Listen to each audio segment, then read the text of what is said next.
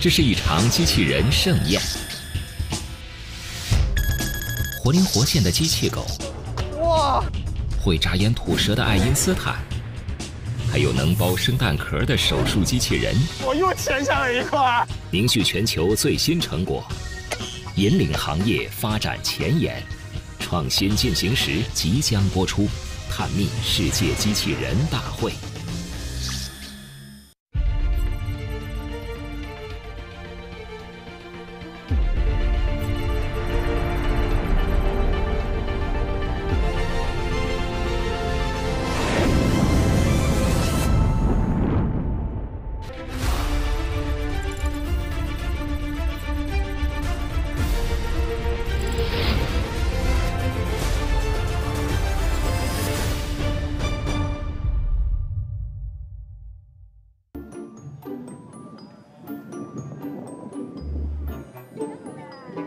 这里是2022年世界机器人大会的现场。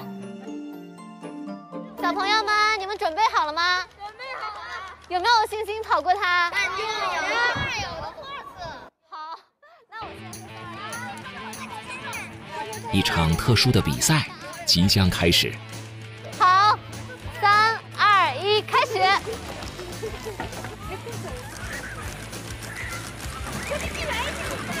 孩子们向前奔跑的身影中，居然有一只步伐矫健的机器狗。大家好，这里是北京亦庄。现在呢，我在2022年世界机器人大会的现场。刚刚呢，我们举办了一场特殊的比赛，是由机器狗和小朋友们一起赛跑。前面呢就是机器狗的展厅，它有没有什么更特别的技能？让我们一块儿去大开眼界一下。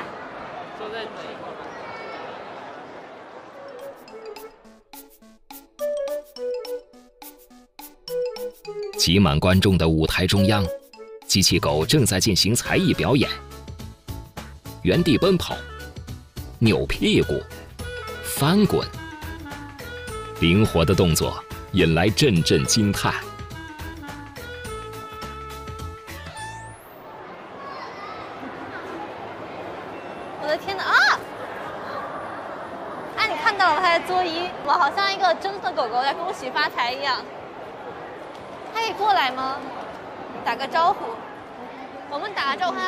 机器狗也能模仿四条腿动物的行动，有一个正式的名字——四足机器人。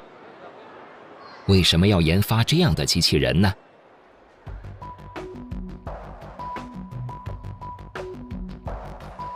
机器人形态各异，以双腿直立人形，或底盘轮式、履带式为主。但这些形态对环境要求相对较高，一旦遇到复杂地形，双足直立攀爬的姿态，更容易保持稳定平衡。因此，四足机器人应运而生。特别是在火灾、地震、高压电站等危险场景中，它们还能胜任巡检搜查的工作。通过提前设定程序，机器狗能够自动行走，也可以切换成遥控模式，利用手柄操控。你可以教我怎么操作一下它吗？好的呀。那我们这个是它的一个遥控手柄，嗯，往前就是往前走，往后往后是往后走，那这面就是左右，哎，它可以转弯是吗？对的。那我能来试一下吗？你试试看。往前是这个是吗？对的。哦，哦，哦，他真的上去了，非常的集中，哎，很好。停下来。好嘞。哦，他哎，我好，好乖呀，我觉得，跟着我的一举一动，可以可以，他怎么打滚呢？打滚，打滚。或者怎么站起来做一有吗？那您按一下 L 一加 A。哇，我做一了，我天！真的是会恭喜发财，你们看到了吗？它会恭喜发财，这狗太神奇了。还有什么其他可以做的吗？嗯，比如说我们还可以打个滚。那我们现在打滚是吗？对，你把它挪到一个比较安全的一个区域。你们按 L 二加 Y。，L 二加 Y 是吗？对的。哦哦，真的滚了，它还会那样挠痒痒。哦，它好可爱，这个。经过简单培训，我们已经能够轻松操控机器狗，做出各种动作。不同于大家印象中早期机器人笨拙的模样，这只机器狗显得格外灵活。这是怎么做到的？我想问一下，你这狗狗为什么会这么灵巧呢？因为我看到其他机器人都是就这样、这样、这样，就很一板一眼。为什么会这么灵巧呢？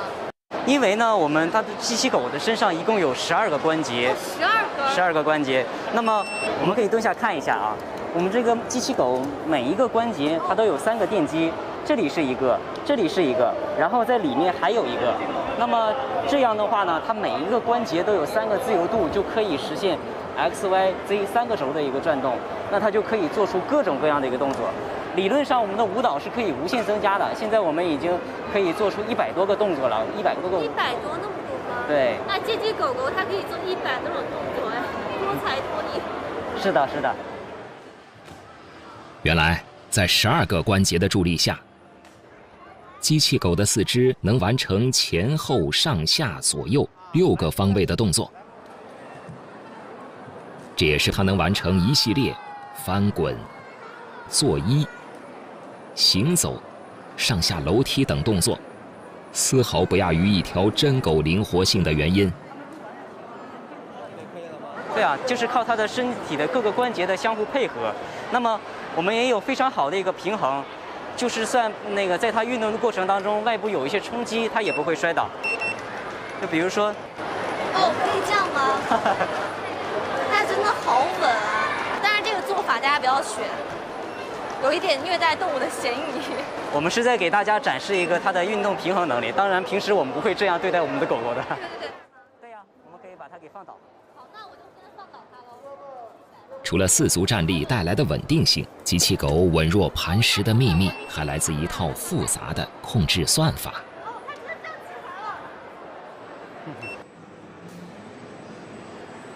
那么，机器人它是一个硬件产品，它有内部的一个运行的一个程序。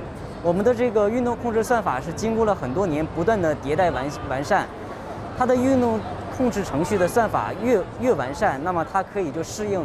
更加复杂的一些路况，比如说楼梯、斜坡，比如说一些崎岖的路面，比如说像这种铁轨的一些道路，那它都可以去。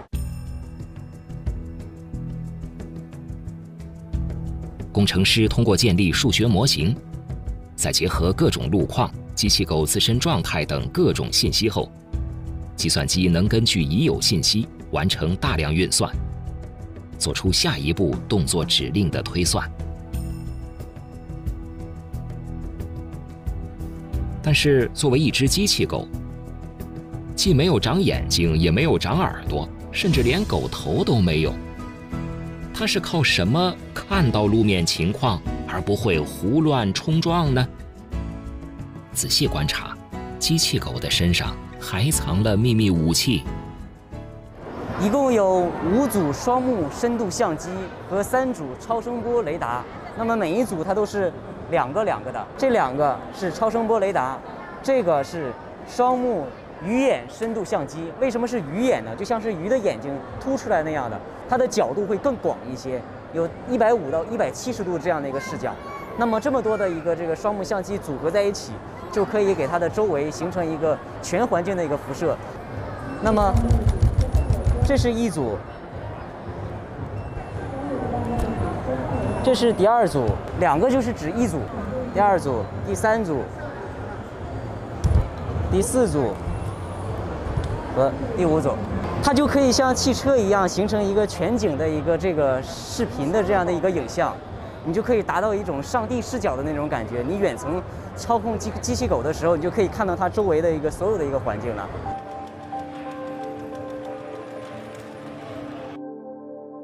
在五组鱼眼摄像头的助力下，这只机器狗拥有超强的侦探功能，能三百六十度扫描了解路况。同时，它身上还有三组超声波雷达，探测范围数米远。当它开启避障模式后，在距离障碍物十五厘米左右就会停止靠近。绕开障碍物。除了这只灵活的小狗，场边还有一只正在踱步的黑色机械大狗。它同样具有灵活的身手和广阔的视野，但身形更为高大，身长达到零点六五米，站起来也超过半米。因此，它能搭载最大八十千克的负重，从而肩负更多的任务。它比如说，我们现在在后背加了一个这个机械臂，那么有了机械臂，它就可以实现一些抓取的一个功能。那我们还可以在大狗的身上再装激光雷达，那它就可以感知周围的一个环境，建立地图。我们还可以加上我们的一个红外云台相机，我们可以加高清摄像机，我们可以加各种传感器。你给它加了什么样的一个东西，它就可以执行什么样的一个任务。原来。机器狗作为一个载体，当给它配置不同的工具设备后，它能承担包括安防巡检、勘探探索、公共救援、消毒喷砂等工作，在更多高危重复的劳动场景里发挥它的作用。近年来，我国机器人产业快速发展，中国已经成为全球机器人最大的应用市场。二零二一年，中国工业机器人产量达到三十六点六万台，比上年增长百分之六十八。我们刚才呢体验了很多特别好玩的机器人，现在呢我们要到世界机器人大赛工业馆的现场，我们要去看一看那里有没有什么更新奇的玩意儿，跟我走吧。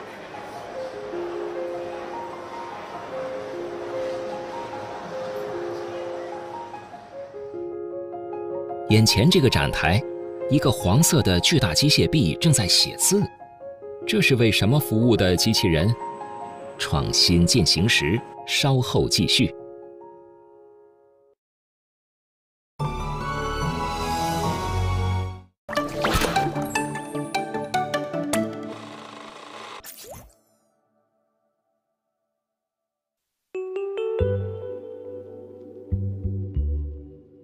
这里是2022年世界机器人大会工业馆的现场。展厅里，不同形态的机械臂机器人正在大显神通。有正在铺地砖的建筑机器人，有敦实有力的智能叉车起重机，而在这片区域，一只黄色大号的机械臂却在握笔写字。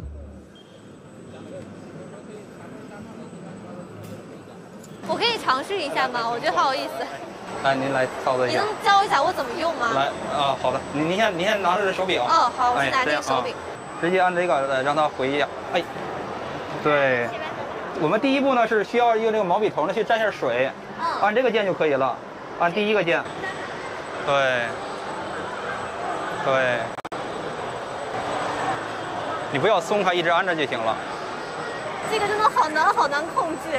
啊！我的天啊，这个太难了。它是这样，这个主要是可能是您操作不是很习惯，而且我们这个东西吧，写这个字啊，它只是一个演示的一个作用。这台机器啊，主要是来代替人工去喷漆。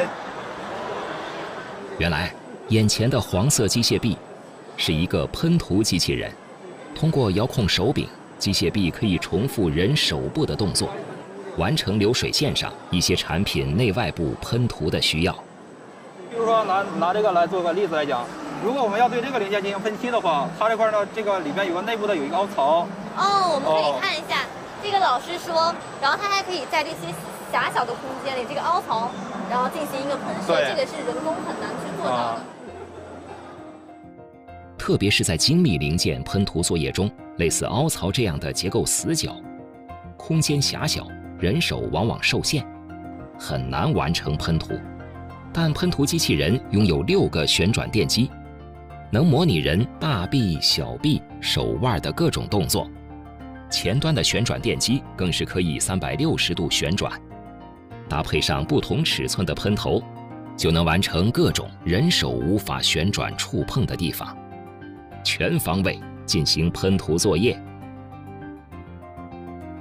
那么，为什么人遥控手柄，机械臂就能重复手部的动作呢？这两侧的红外摄像头是关键，它们可以通过红外线来捕捉操作人员手部的运动轨迹，形成轨迹的立体三维模型，同时实时生成相应轨迹的算法，再通过电脑上的程序来控制机械臂的运动。这样，机械臂就能重复人手部的动作，完成精确的喷涂动作。不仅如此，通过控制手柄。遥控机械臂动作还能有效避免喷涂工作当中有害气体对人体的损伤。比如说，我们的很多机械呢，都是需要通过喷漆呢，对这个产品呢进行一个这个防腐的一个处理。那，就是说，这个对于操作工呢是有很很大的一个人身伤害的。所以说呢，我们在进行这个喷漆作业的时候呢，我们就要第一提高这个工人的劳动环境，第二呢，也是为了国家的这个就是说这个环境。我想知道，就是。在一个你们专业的这个场景之下，它到底是怎么去隔绝？我们这边正好有一个视频，是模拟我们正好我们车间的一个现实的一个工作作业环境的。嗯。视频中是工人师傅真实的作业环境。喷涂机械臂在一个密闭空间中喷涂零件，操作人员隔着气密门远程操作机械臂，完全隔绝了有害气体的侵入。但是大批量喷涂零件。往往需要技术人员重复作业上千次。面对如此庞大的工作量，机械臂能解决这个问题吗？我觉得这样操作起来特别累，而且它非常非常难操作。对，那如果说每操作一次，我都要这样来一次的话，那不是更浪费时间了吗？它是可以记录你的操作的。哦，真的吗？对，它是可以记录你操作的。我们只需要就是说在这个界面上按一下这个键，哎，它就可以重复您刚才的。一系列操作，哎，它真的现在重复来我做了动作，从蘸水开始。看啊，我现在没有用手去操作这个字，但是呢，这个机器人在模仿我的笔记。对，是这样的，它会记录你刚才的操作，啊，它会把你的操作变成程序以后储存在它的这个系统里边。它会按照这个系统走这个程序，会重复您的之前的操作，是这样。就等于说，不管我拿这个机器去干什么，只要我去记录一次，它就会自动存储，然后再按照我自己的步骤一笔一画把它写出来吗？是的，是的啊。哦，那真的好神奇啊！那我觉得有了这个机器，才是真正意义上的解放双手。模仿笔记只是一个小小的演示，让我们将视线转移到工厂车间中。喷涂机器人将技工的一套喷涂动作记录成样本，就能精准还原动作，完成之后每一个零件的标准化喷涂。从机器狗到喷涂机器人，机器人应用在生产生活的各个领域，既能替代人们进行危险的工作，也将人们从重复机械的劳动中解放出来，提高生产效率。机器人产业还会遇到哪些机遇与挑战？创新进行时，稍后继续。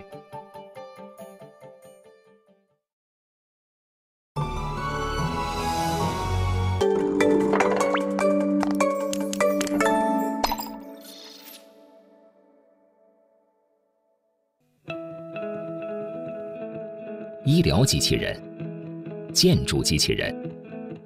农业机器人，机器人应用场景不断拓展。中国已成为全球机器人最大的应用市场。二零二一年，中国机器人全行业营业收入超过一千三百亿元。